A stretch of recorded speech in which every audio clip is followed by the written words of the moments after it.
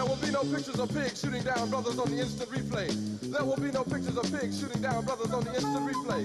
There will be no pictures of Whitney Young being run out of Harlem on a rail with a brand new process. There will be no slow motion or still life of Roy Wilkins strolling through Watts in a red, black, and green liberation jumpsuit that he has been saving for just the proper. Gil Scott Heron, the revolution will not be televised here on Democracy Now!, democracynow.org, the War and Peace Report, broadcasting on over 700 stations around the country on Pacifica and NPR and Low Power FM and college and community radio stations on public access TV, like right here in Aspen, Colorado on Grassroots TV, where we're broadcasting live today, uh, as well as on PBS stations and both TV satellite networks networks, Dish Network Channel 9415, Free Speech TV, uh, 9410 Link TV, and on DirecTV Channel 375. And we're video and audio podcasting at democracynow.org. Our headlines are also available in Spanish for any radio station to take, as about 200 stations are. I'm Amy Goodman. We're here in Aspen, Colorado. Yesterday, Barack Obama pledged to expand a controversial White House program that funnels federal money to religious charities. The presumptive Democratic nominee unveiled his plan in a speech on Tuesday the East Side Community Ministry in Zanesville, Ohio. The fact is, the challenges we face today, from saving our planet to ending poverty, are simply too big for government to solve alone. We need an all hands on deck approach. I'm not saying that faith-based groups are an alternative to government or secular nonprofits, and I'm not saying that they're somehow better at lifting people up. What I am saying is that we all have to work together, Christian and Jew, Hindu and Muslim, believer and non-believer alike, to meet the challenges of the 21st century. And President Bush came into office with a rally, uh, or a promise to rally the armies of compassion, establishing a new office of faith-based and community initiatives.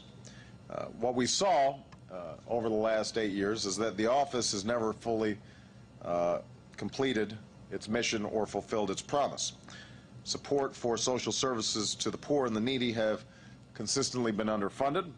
And rather than promoting the cause of all faith-based organizations, former officials in the office have described how at times it was used to promote partisan interests.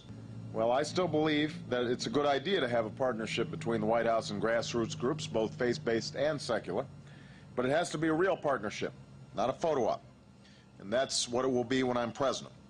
I'll establish a new Council for Faith-Based and Neighborhood Partnerships. The new name will reflect a new commitment. This council will not just be another name on the White House organizational chart, it will be a critical part of my administration. Barack Obama said he would set aside more than $500 million a year for the program. The Los Angeles Times reports many Democrats say it's the most aggressive outreach to religious voters ever by the party's presidential nominee. Religion's been a controversial subject with Barack Obama during his campaign. He quit his church after comments by his longtime pastor, the Reverend Jeremiah Wright. He's tried to quash false reports. He's Muslim.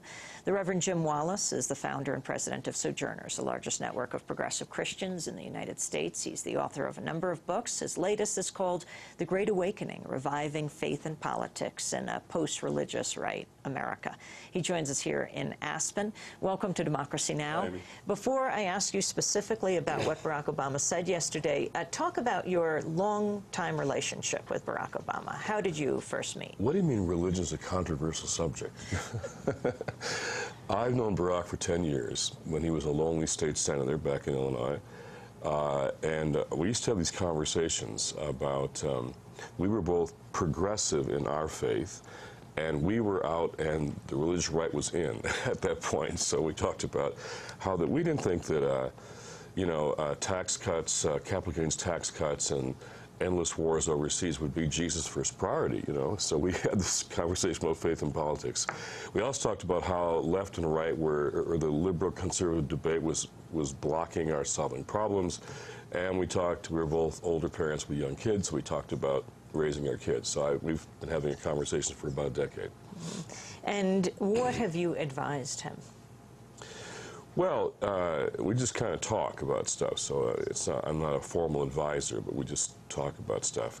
Um, you know, it's funny how the press is seeing this as a religious outreach. That's the whole spin. Well, Barack was a community organizer in the South Side of Chicago uh, working with congregations. So this stuff's in him. It's sort of his his his background, and he doesn't come from a religious family, and he knows.